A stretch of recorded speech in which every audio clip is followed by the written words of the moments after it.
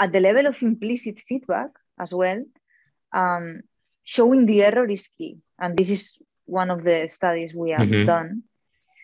Um, why showing the error is key? Because in the study we do, we did, we showed that we learn more from those errors that repeat more often. Mm-hmm. So, so we have a memory of errors. and, and we should have a memory of errors because it helps us to correct those errors faster if they repeat again in the future.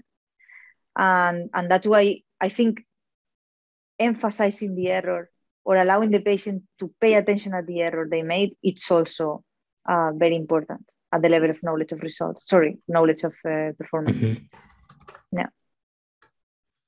So, uh, why do you think many therapists are afraid of error, and they promote the the, the activities of normal movement, uh, Bobath mm. concept, mm. all of this, and mm. don't let the patient make an error? Why do you think yeah. Uh, many many yeah. therapists are afraid of error? That's a great question because I think they are right. Uh, we must be afraid of error because patients are very sensitive to error when using the more affected arm. If they experience error, then their future decision making for using the arm will be affected and will lead to not using it enough and deteriorating. Mm-hmm. So I understand that they try to avoid error.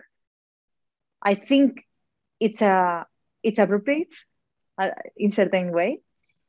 It it's contradictory with also the paper of the error because error is positive for learning, right? Mm-hmm.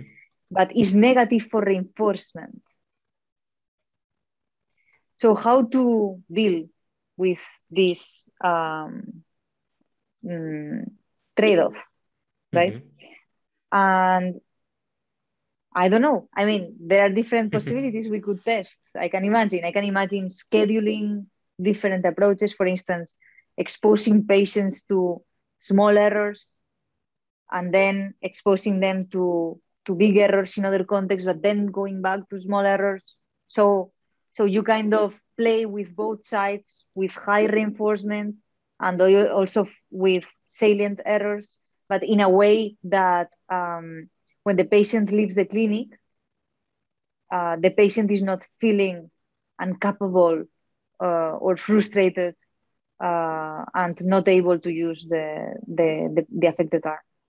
Mm-hmm. But it's something I, I mean I don't know because I did I never tested uh, anything yeah. like that. Hmm.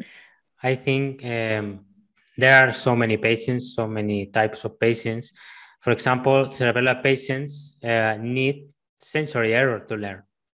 It's mm. key. It's a key key question, key key issue. Um, mm. But in apraxic patients, for example, uh, there is uh, a therapy that, or there is a technique that is error-free learning. Um, so probably error training must be tailored with tailored to the type of patients. Uh, it's complicated. It's complicated. I mm. I try to mm. to resolve this problem every day, and it's very complicated. Mm. Yeah, I mean, error-free learning. We all have uh, this type of mechanism. is like use-dependent uh, learning, right? So if you repeat more one task, then even if you would get no feedback at all, uh, you would still learn to to perform that task better. Mm-hmm. But the question is, how fast would yeah. you learn it? right? The process, yes.